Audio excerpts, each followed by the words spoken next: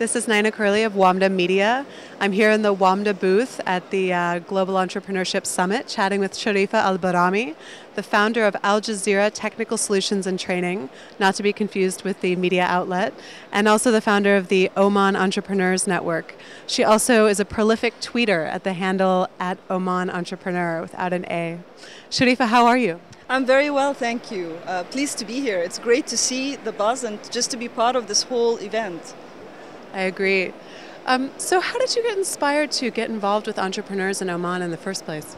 Well, I think uh, it started with, with myself, really, because being an entrepreneur and having started my company back in 2007, I went through the mills of setting up a company and, and, and going through the whole startup phase.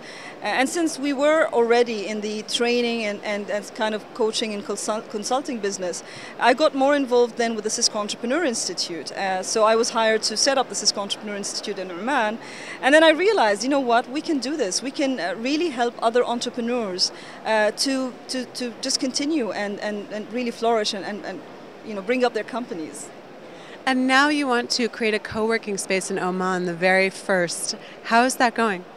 Uh, very well. I mean, I think uh, one thing that I've taken from um, being in the in, you know in the startup and in the entrepreneurship uh, ecosystem, uh, you have to have challenges to actually be able to sort of excel and, and make your product or your service much better. So so it's not easy, but so far I think what we have found is that entrepreneurs in Oman do need a focal point where they can gather, uh, they can collaborate, they can uh, cooperate, uh, as well as just really exchange ideas, and a place for them to fail but fail safe so that they're not out in the big markets if they fail. They're actually failing within our ecosystem. So, I mean, that's where the idea came from. And we, we just really uh, wanted to set up a co working space, uh, kind of an accelerator model uh, that will really support entrepreneurs in their ventures, uh, starting from an idea. And they don't even have to have uh, a clear idea of what they want to do. They can just join us, sit and listen to other entrepreneurs and how they're doing it and other startups and different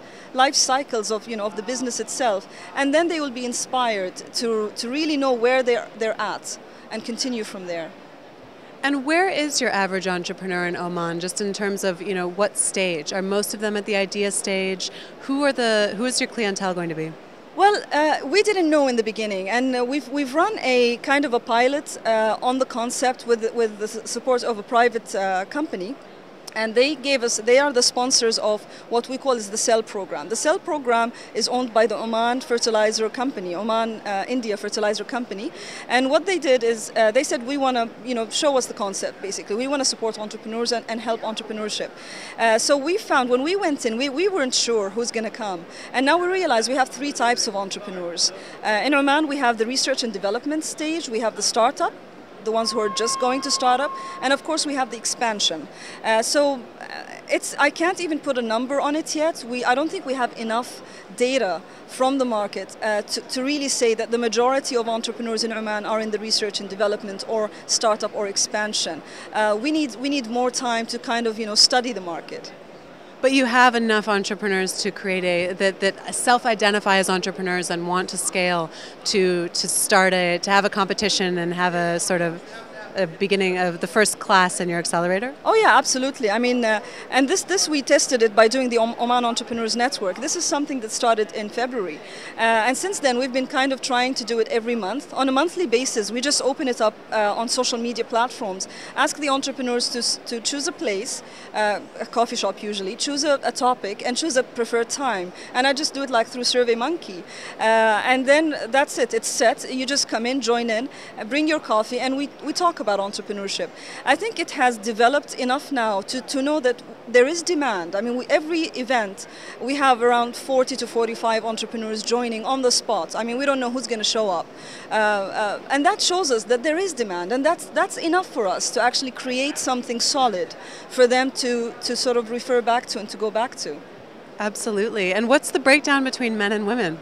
It's 50 50, uh, surprisingly enough. That's another encouraging thing that we found uh, in every, almost every single uh, session, or even when we had the um, the cell program, all of the applicants, we had uh, exactly 50% men and 50% women, which means that the women are doing it as well, and they, they, they have a lot of great ideas. We've got some fantastic uh, businesses, and I think you're going to interview them tomorrow as well.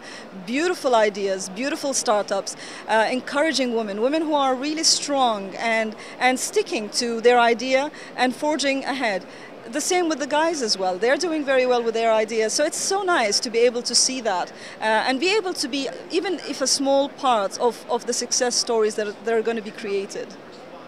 Great. Well, maybe we can bring our WAMDA Mix and Mentor event there at some point hoping for that, inshallah. We would be delighted to have it. I think it's it is time to sort of bring in the Oman entrepreneurial uh, scene back to, to, open it up to the rest of the region uh, and really collaborate with everyone in the region. I think that's what's needed right now for the whole Arab world. And, and I think we heard Sheikh Mohammed as well, and and you know everyone who was here that we are at a point that we, we really need to create entrepreneurs. We really need to uh, encourage them, and the only way we're going to do that is to open this whole plane and this whole land, the whole region up to each other. And I think WAMDA do a great job of that. They really do.